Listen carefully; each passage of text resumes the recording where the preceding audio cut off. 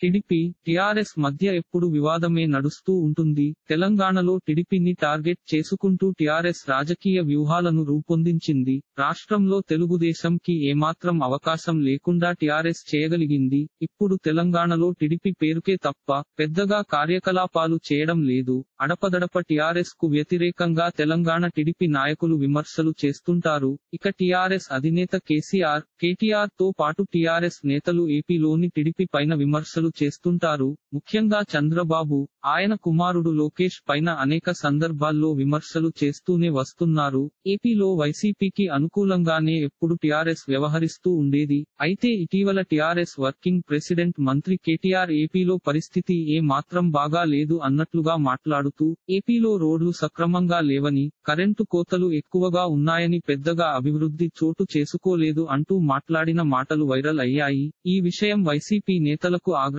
కలిగించింది. ఆ తర్వాత కేటీఆర్ తన వ్యాఖ్యలను ఉపసంహరించుకున్నారు. జగన్ తనకు సోదరుడు అంటూ వ్యాఖ్యానించి ఆ వివాదానికి పులిస్ స్టాప్ పెట్టారు. దీనినే రాజకీయంగా టిడిపి ఉపయోగించుకునేందుకు సిద్ధమైపోయింది. ఈ మేరకు టిఆర్ఎస్ ప్రభుత్వాన్ని పొగడ్తలతో ముంచెత్తేలా టిడిపి ఏపీ నాయకులు మాట్లాడుతుండటం ఆసక్తికరంగా మారింది.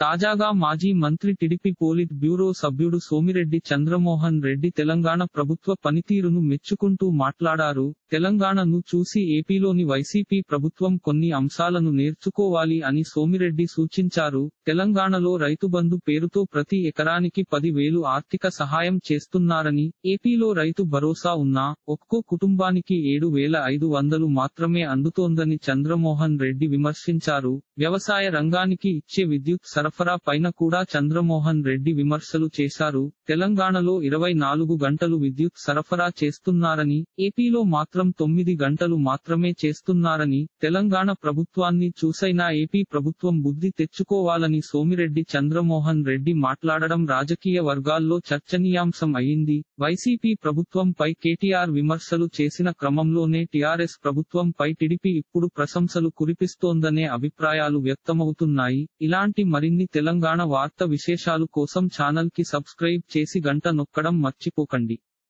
ఈ వీడియోని తోటి మిత్రులకి షేర్ చేయండి మీ అభిప్రాయాన్ని కామెంట్లో తెలపండి.